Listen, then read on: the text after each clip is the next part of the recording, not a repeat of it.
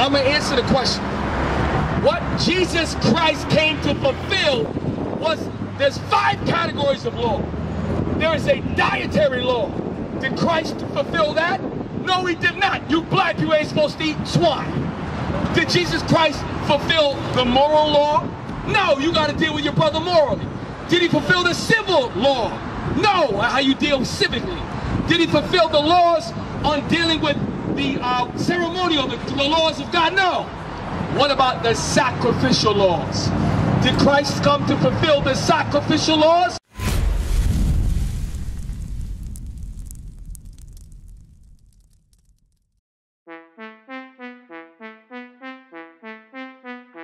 Shalom.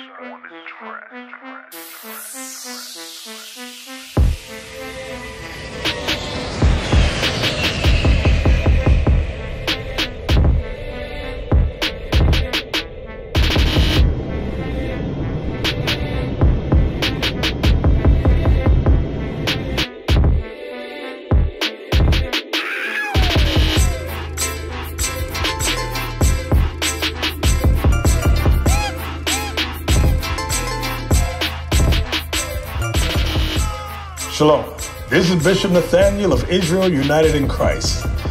I want to start off by saying thank you to all of our Booster Club members for your many donations and much more, your prayers. We visited faraway countries and strange lands. We've even spoken to dignitaries and were detained for spreading the glorious gospel in Cuba. The truth is that the descendants of the 12 tribes of Israel were scattered throughout the world.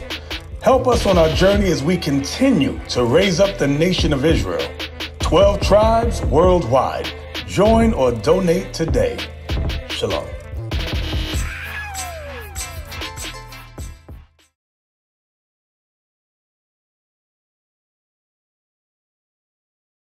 Now, my question is this. Did Jesus Christ do away with God's law? Because this is gonna this is gonna tie into what you were saying. Right? He absolutely did. Now, did Jesus Christ do away with all the laws of God or a portion of the laws of God? For example, thou shalt not steal is the law of God. Did Christ do away with that? So the confusion in the church is what part of the law did he fulfill? I'm gonna prove it to you today. Right. Now, let's start slow. Matthew 5 17. Bring it I'm up. I'm gonna connect the dots and make a real plane for y'all. This guy, what? I need you to focus over here. Come on. Matthew chapter 5, verse 17. Think not that I am come to destroy the law. Jesus Christ, these are the words in red. Are you with me? The words in red are when Jesus is speaking. Did you are you paying? Did you know that the words in red are when Jesus is speaking? All right, so we, we're all together. Read. Think not that I am come to destroy the law. He said, I ain't come to destroy my father's law. Read. Or the prophets. Or what the prophets said. Who are the prophets of God? Jeremiah, Isaiah, Habakkuk, Obadiah, Moses. Those were the prophets. And guess what? They look like you. You didn't know that Mary, the mother of Christ, looked like you? You ain't know that? Well, if you don't know, well, now you know. That's Read, right. come on. I am not come to destroy, but to fulfill. So that's the million dollar question. Jesus Christ, I didn't come to destroy the law or the prophets. I came to fulfill. What did he come to fulfill? Matthew chapter 23? Help me out, Seth. Uh, so yeah. Matthew 24. For me. That's it, Luke. So this is what he came to fulfill. Matter of fact, you give me that, hold that Hebrews 10. I'm gonna answer the question. What Jesus Christ came to fulfill was there's five categories of law. There is a dietary law. Did Christ fulfill that? No, he did not. You black you ain't supposed to eat swine. Did Jesus Christ fulfill the moral law? No, you got to deal with your brother morally. Did he fulfill the civil law? No, how you deal civically. Did he fulfill the laws on dealing with the uh, ceremonial, the, the laws of God? No. What about the sacrificial laws? Did Christ come to fulfill the sacrificial laws? Maybe that's, yeah, I like that. Bring it out. Hey, come on. The book of Hebrews, chapter 10 and verse 1. Wait, stop, hold that, John 129. We're going to show you step by step. Lying Christian pastors, bring them all out here right now. Bring them here in front of me right now. Bring it out. Why do you know why? Because you know why? You, you hearing your brother tell you the truth today. That's the difference. And why our forefathers, the Maccabees, Christ, we're fierce and they were powerful men. That's why you're here. Because you know I'm telling you the truth. Wait. John chapter 1 and verse 29. Like you said, come on. The next day, John see of Jesus. Hold up. John is seeing Jesus off in the distance. This is the next day. You paying attention? He's off in left field. So this guy, read. Coming unto him. So they saw, John saw Jesus the next day coming in. Watch what he calls him. Read. And saith, Behold, the Lamb of God. Now you ain't, you- you're not reading it. Stop. Read it right, please. The next day, John see of Jesus coming unto him and saith, Behold, the Lamb of God. What? The Lamb of God. Didn't hear you. The Lamb of God. What'd he say to Jesus? Behold, the Lamb of God. Wait, did Christ dress up in a giant sheep suit or lamb suit? Looking like lamb of the sheepish line? Galloping? Why you call him the Lamb of God? I'm gonna prove to you why. Hold that, give me Ephesians chapter 5. This- Bring it out. It says, uh, matter of fact, give me Hebrews 10. Now I'm gonna, what he fulfilled, brother, was that the, the, the office of animal sacrifice for forgiveness of sins. Right. Did they did they sacrifice rhinoceroses, the Israelites? What they sacrifice? They sacrifice bullocks, turtle doves, and lambs. Right. Watch, I'm gonna prove it. Hebrews 10 and 1. The book of Hebrews, chapter 10 and verse 1. For the law, having a shadow of good things to come. Now this is Paul. By the way, I told you, we proved that Paul was a black man. Right. Without a shadow of a doubt. This is Paul writing some things that are hard to be understood. We're gonna make it plain for you. Read. And not the very image of the things can never with those sacrifices which they offered year by year continually make the comers thereunto perfect. We're gonna break this down. Read it again. For the law having a shadow of good things to come. What law? The law thou shalt not steal? No. The law of animal sacrifice was a shadow of things that was better to come down the line. Read. And not the very image of the things can never with those sacrifices which they offered year by year. Wait, did they Christ died year by year? No, the animals died every year. At every Feast of Tabernacles, Passover, they kept killing animals over and over again. Right. Moses said that shadow was the shadow of things to come. Read. They offered year by year continually make the commerce thereunto perfect. Read on, come on. For then would they not have ceased to be offered? Right, because they kept having to offer sacrifice, but they kept being wicked as hell. Read. Because that the worshippers, once purged, should have had no more conscience of sins. Now hold up. Watch verse 4. This is what Christ came to fulfill. The only thing Jesus Christ came to fulfill is the office of animal sacrifice for forgiveness of sins, along with all of the rituals that we're doing. There was an altar. You had to kill an animal a certain way. They used to sprinkle the blood. All of that, Christ, he fulfilled that. But that don't mean you can eat pork. That don't mean God loves everybody now. That don't mean that the black man is not the Israelite. That's right. Read. Hebrews 10 and verse 4. For it is not possible that the blood of bulls and of goats should take away sins. Stop. You see that? Read it. You, you see that? You ain't got to go nowhere. Listen. Read it again. I got somebody give me my phone. I got a, I got a visiting nurse. All right, sister. Read. For it is not possible that the blood of bulls and of goats It's not possible that the blood of bulls and of goats, read, should take away sins. should take away sins. It's not possible that the blood of bulls and goats would take away sins. Watch this, read. Wherefore, when he cometh into the world, he saith, Wait, who cometh into the world? Sacrifice and offering thou wouldest not. Christ took away the sacrifice and offering for forgiveness of sins. Watch this. It's going to tell you. But a body has thou prepared me. It, what, it- is that, does that mean an animal body? Because uh, if you kill a, a lamb, that's a body, right? That body is talking about Christ. That's right. Now, my question to you is, what did his body look like? What did Jesus' body look like? Right. Hold up the damn devil. Right. Let's hold up. Let's. You see this right here? This, as far you, the brother said, as far as we know, because they taught us in slavery that white is right and everything good with whiteness is going to save you. That's the image of Jesus that they gave us. Some with blonde hair, blue eye. That is the image of the beast. Right. That taught you lies, that taught you hypocrisy. Right. Now, I asked you, what did the, remember they said, but a body, so Christ had a physical body. Right. So what did Christ's body look like? We got, well, we know that his relative Paul was black. Now let me ask you a question. Christ, now Moses was from the, the same line as Jesus Christ, correct? So if I can show you that Christ is black and Moses is black, what does that mean about all the other Jews that was there? I'm gonna show you Revelation 1. Bring it out. Hold that Daniel chapter 10. Bring it out. The first thing I'm gonna do is I'm gonna go back to ancient Babylon. Daniel the prophet, I need you to pay attention. I'm not gonna go too deep.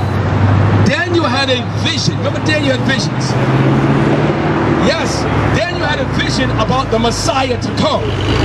And Daniel and John saw the same thing. I'm gonna prove to you. So why is this important? Because the man the body was required, he needs to have honor paid unto him. Because the confusion is in the church that God came for everybody. That's a lie, brother. We're going, and I'm gonna clear that up. Read. The book of Daniel, chapter 10 and verse 5. Then I lifted up mine eyes and looked. Stop. 10 and 1. 10 verse 1. In the third year of Cyrus, king of Persia. In the third year of Cyrus, king of Persia, Daniel, was he free in his captivity? Daniel was a slave. Right. Daniel was a slave. You blacks are slaves still. Because you're the real Jews. You're the Israelites. That's right. never let let free yet. Read. A thing was revealed unto Daniel. So Daniel was a black man. He had a vision. Something was revealed to him when he was a slave in his captivity. Read. Unto Daniel, whose name was called Belteshazzar. They changed his name. Like your last name, if it's Johnson, you got it from your slave master. Right. You got you, he got his name from his slave master. This is this is the Bible. Read. And the thing was true, but the time appointed was long. Right. Now we're gonna jump. He sees a vision about the Messiah to come. What does Messiah mean, brother? Who is the Messiah? You don't know who the Messiah, who the Messiah is. Jesus, the Savior. Right. He's got to save us from our enemies. Read. Verse 5. Then I lifted up mine eyes and looked, and behold, a certain man clothed in linen. So Daniel gets a vision. He looks up and he sees a man, a man, not a spirit, a man clothed in linen. Pay attention, read. whose loins were girded with fine gold of Uphaz. So his garment that he had on was a was a royal garment, right? Watch this, come on. His body also was like the beryl. Remember before it said, a body I will require of you. This is the body of the Messiah that uh, Daniel is seeing. Read. And his face as the appearance of lightning, Meaning he had a glow in his face of power. Read. and his eyes as lamps of fire, His eyes was the lamps of fire. Remember that part? I'm gonna link it up later. Come on. and his arms and his feet like in color to polished brass. Now, Jesus Christ's color is described in Revelation as well. He had skin as a polished brass. You can call it what you want. Brass is a brownish metal. I'm not gonna argue that. That's what it is. really. And the voice of his words like the voice of a multitude. He had a very loud voice when he talked. It sounded like a lot of people talking. Hold that Revelation 1. Bring it up. I'm gonna show you that this body, Jesus Christ, was a black man. And nobody on this planet Earth can dispute it any other way. I don't care if you bring me Creflo Dollar. I don't care if you bring me Donald J. Trump. I'm gonna tell him the same doggone thing because the truth can't be hidden no more. Right. Revelation chapter 1 and verse 1. The revelation of Jesus Christ. Now we're going to get clarity on Daniel's vision. Why is this important? Because until you get in your mind that the, the Messiah that came to save you is a black man, we can't go by anything else. You got to understand that. Read. which God gave unto him to show unto his servants things which must shortly come to pass. Read again. I'm to you it's talking about the revelation of Jesus Christ. Read. The revelation of Jesus Christ, That's who John is revealing in this chapter. Read. which God gave unto him God gave him the vision of Jesus, not his own imagination. He said it right there. Read. To show unto his servants things which must shortly come to pass. Now, with God, a day is as a, a thousand years. When he said shortly come to pass, in the future down the line, Christ, what he looked like, would be caught up in a lie. They wrote it so in a short amount of time, which remember the day of the Lord is a thousand years, that we would understand who the Messiah really was, who he represented and who he looked like. Read. Verse 2 Who bear record of the word of and of the testimony of Jesus Christ and of all things that he saw. Stop. Now this is important. So he said John was given a vision by God to bear record and write down the things that he saw. Why would he write down an image of Jesus that he saw if everybody knew what he looked like then? Right. Because down the road, you would get this image. Ask a black man in America what Jesus looked like. He's, a, he's afraid to even say the white man is his enemy. He's even afraid to say that. You know? Read. Blessed is he that readeth. So today we're going through the Bible and reading and explaining to both of you men precept upon precept. We're showing you what Jesus looked like because it said, a body I require of him in Hebrews the 10th chapter. Read. Blessed is he that readeth, and they that hear the words of this prophecy. When you read this Bible and you begin to hear the words we're bringing out, you're going to be blessed.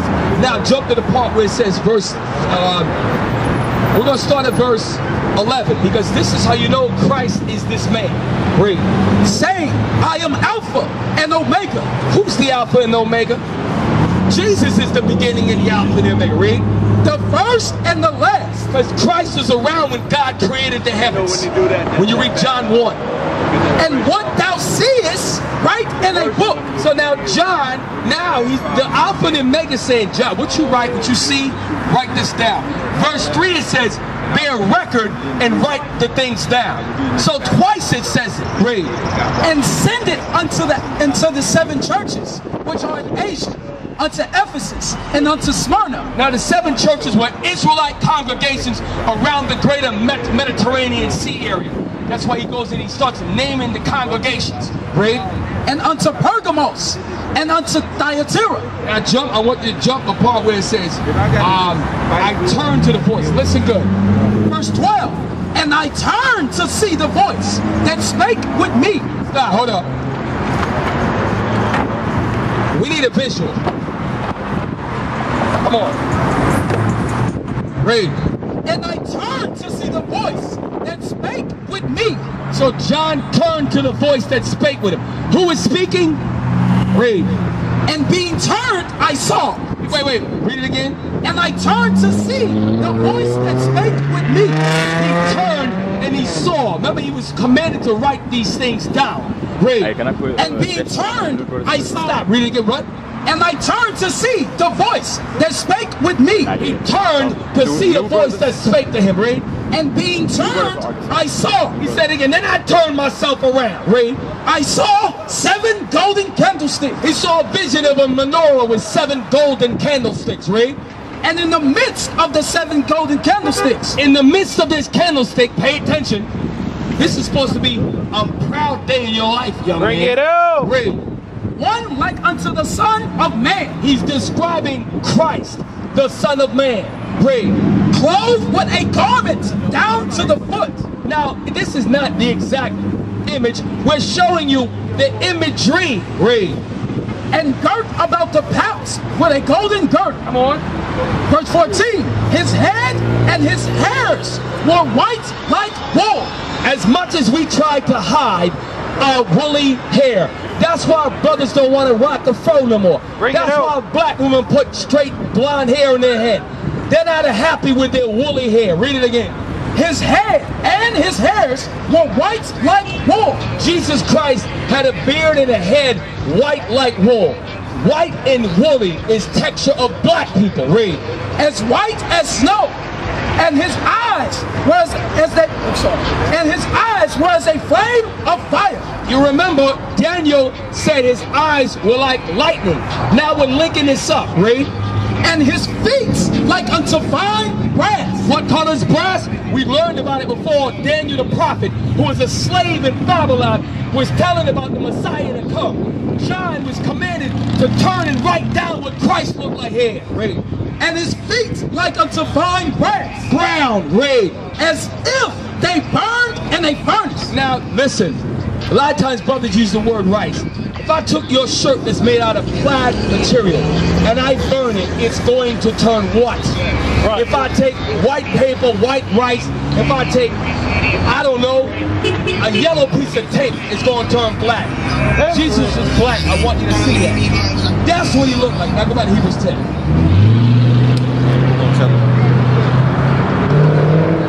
Watch this. Go back to Hebrews 10. Nothing to do with the white Jesus is a damn lie. Bring it out.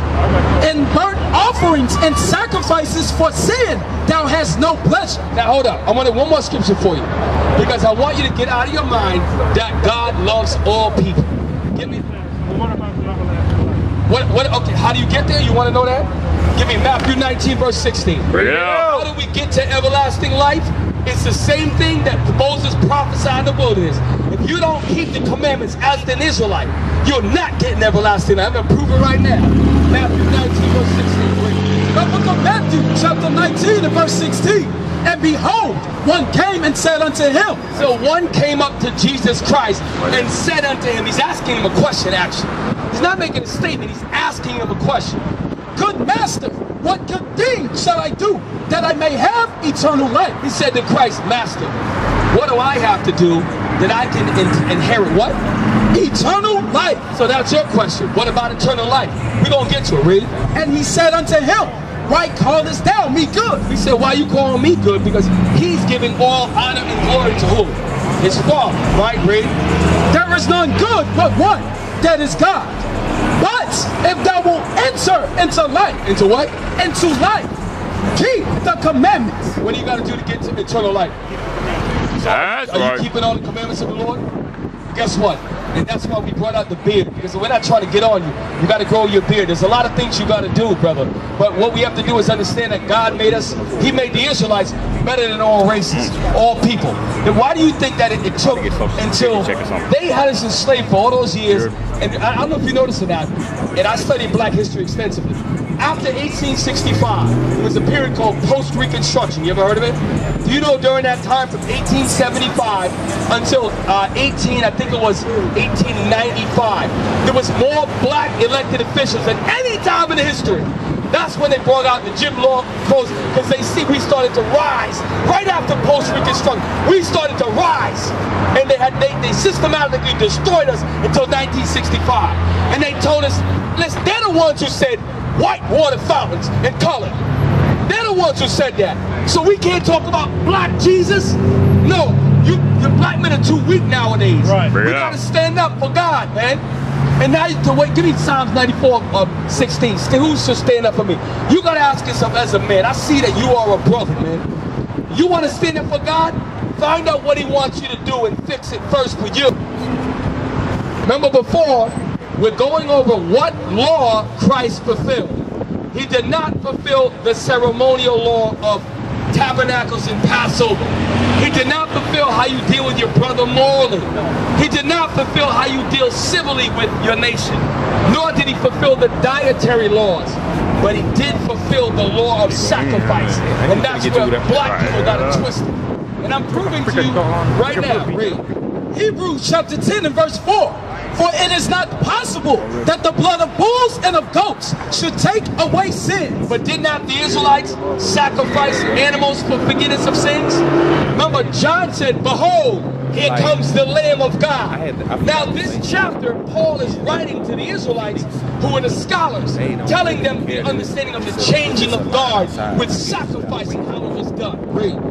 Wherefore, when he cometh into the world, he saith, Sacrifice and offering thou wouldest not. Right, the animal side, he, he didn't want that. Read on. But a body thou hast prepared me. So that body was Christ. That's why I went and showed you that Paul was a black man, and so was Christ. We used to scream black power while Heron was pushed. But at the end of the day, nothing's in vain. IUIC has been given a vision. The tents of Judah has risen. Many has attempted the mission, minor murmuring, omitting, and missing the mark.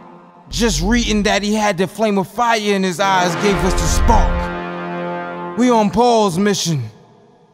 We out on the road, purple and gold, From Mexico, Cuba, Haiti, Ghana, Sierra Leone. 144,000 boots banging, concrete crackling. These are our men repented at heart. The scriptures is proof. IUIC, we deliver the truth.